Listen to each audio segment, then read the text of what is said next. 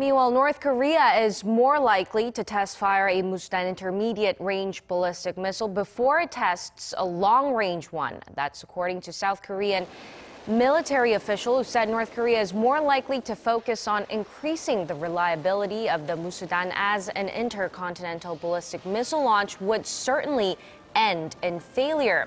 Last year, the North test fired eight Musudan and only one was deemed a success.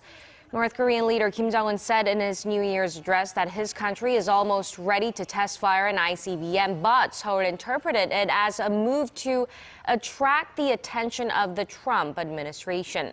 But the military official warned that an ICBM launch is not entirely off the table because ultimately a launch depends on the whim of the North Korean leader.